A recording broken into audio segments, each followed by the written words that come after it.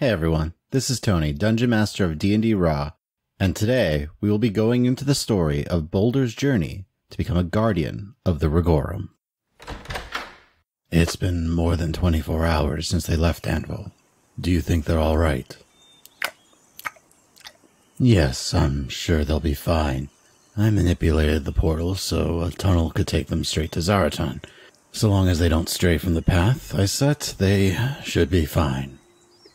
I never did tell you the story of when I met Zaratan, did I? Uh, so long ago, I almost forgot what it was like not being bound to the soul of the earth. well, like I mentioned before, I was actually born in the Rugorim, and while I don't remember much of my mother, my father taught me that our proximity to the earth portal made me the genasi that I am. You know, he was a guardian of this area as well, but he was beginning to tire of the responsibility by the time I had come of age. He taught me everything I know in terms of caring for the land and learning how the land could take care of me. well, no, we, we didn't spend much time getting to know the Lady of Spirits, and Bai was much more present at the time. The Orc clans hadn't yet united under the banner of the Nightmare Skull, and the Fortune Born at the time was preoccupied with just holding on to his territory. So, we had a bit of safety from them back then. When I was old enough, though, my father taught me some rune magic and its connection to the plane of Earth. When I was skilled enough, he said we could travel to the plane, see what it was we were really guarding against, and where the source of our power came from.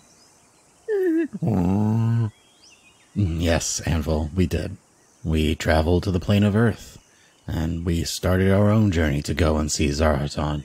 My father didn't have as powerful a connection as I did to the plane, so his path through the portal was not as secured as mine.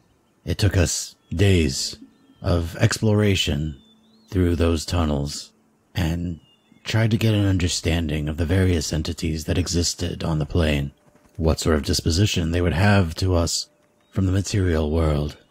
My father was incredibly skilled with magic, or at the time I believed he was, though he didn't have the natural affinity to the earth that I did. Here it felt like I came home. It took almost no effort to manipulate the earth in a more skillful and impressive manner than my father ever could, and in my youth I tried to show off all that I could do on this plane. The want to show off this skill led to some distractions. It led me to witness the terrifying power of the Dao. It was a crystal entity I was observing, and I was trying to show my father how the light refracted off of it, and I didn't hear the Dao coming. My father was knocked unconscious, and I was bound, and both of us brought to their jade city, built within the largest jade crystal I had ever seen and probably will ever see, considering the plane itself is made up of earth and gems and rock. Most of the buildings in the Dao City were just made up of the crystal, as if they carved the buildings around it, using the outer shell as a wall to surround their entire capital. It was molded by the Dao magically. Their link to the plane was absolute other than Zaraton's himself. I had an opportunity here to be impressed by the majesty that the city had to offer, but before I could lose myself to its glamour, I was imprisoned with my father. We were told we were trespassing and would receive sentencing. My magic wasn't usable here. My power had been cut off in this cell. My father and I were eventually separated. We were to pay off our fine and mine for precious metals for the Dao. You lose track of time on the plane of Earth. I'm uncertain how long it was that we were there. There is no day and night cycle, it is just darkness. But eventually, after a long time, a Dao woman came during one of my shifts, told me to leave my tools and follow her.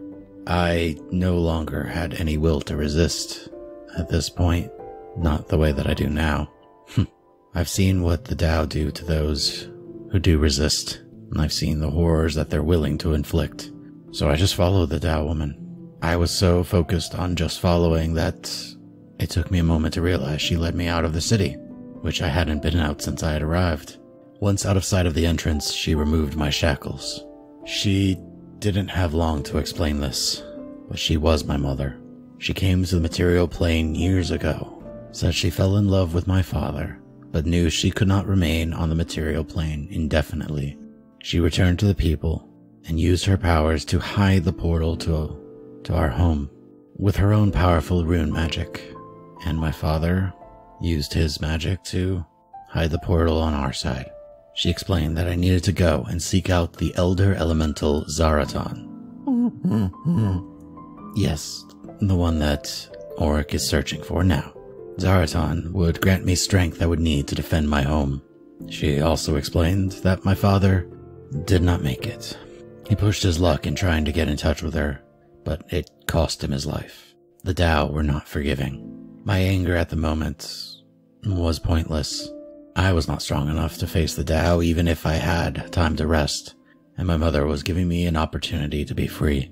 I had so many questions, Anvil, but life sometimes doesn't give you a chance to find those answers. So I did flee. I fled before the Dao realized I had escaped. My mother had only so much pull within their society. No sense getting her in even more trouble than she probably already was. So I climbed away, higher and higher and far away from the city. I'm sure the path down is different than when I got there. The tunnels of the plane of Earth are ever changing, making them a bit confusing. yes, Anvil, that's why it took me so long to craft the magic necessary for the tunnel to Zaratan. I wanted at least some consistent path for them, even if the landscape is disorienting. oh, the first challenge. Yes. If it's the same as when I was there, there's a Myrmidon it's a powerful elemental who basically just says get past him. That was not much of a first challenge, I thought, but got past him all the same. I pushed through those challenge, and my natural affinity to the earth made it relatively easy. I even met a kind stone giant named Granite. He guarded the second and third challenges. A high climb up a sheer cliff. Again, not too difficult considering I could mold the earth around my hand, but I was tired, and by the time I had completed the final challenge, I stood before the great entity, Zaratan, and really didn't know why I was there. I broke down and explained that I originally came to the plane of Earth to learn where my power came from. I was told to seek out the Elder Elemental, but it had not been fully explained to me why. My father had only explained that I could be strengthened here. My mother explained that Zaratan would guide me. I just wanted to protect the material plane so that the Dao would never be able to invade it. So in a final moment of utter exhaustion, I exposited to this mountain of a beast and asked it to help me as it had my father. And Zaratan's memory is long, and he agreed, but he did not just bind a portion of his essence to me. He did not just give me the soul of the earth, but he taught me how to use its full potential. So I trained and learned, studied and mastered the element of earth. I learned how to completely bind myself to the plane, what it meant when my father said that we had a connection to the portal here. And by the time Zaratan bid me to return home, I was no longer the child that had entered the plane. Zaratan had given me a gift in the power that he presented, and enough knowledge and wisdom to be able to contend with beings such as the Old Fae and even the Lady of Spirits as long as I was careful.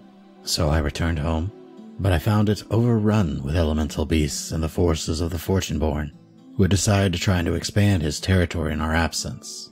In my absence. So I showed him what I could do now, and drove his people off my lands using several of the elementals who were friendly to aid me while returning others back to their home plane.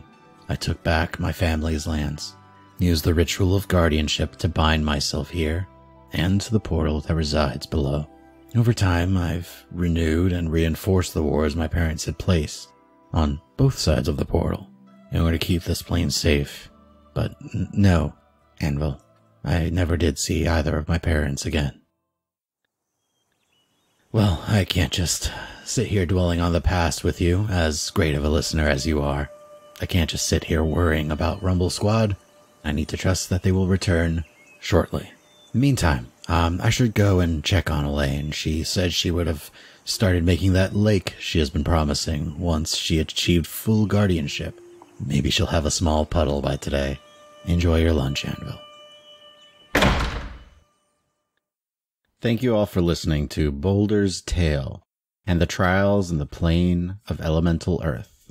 Don't forget you can check us out on all of your favorite podcatchers.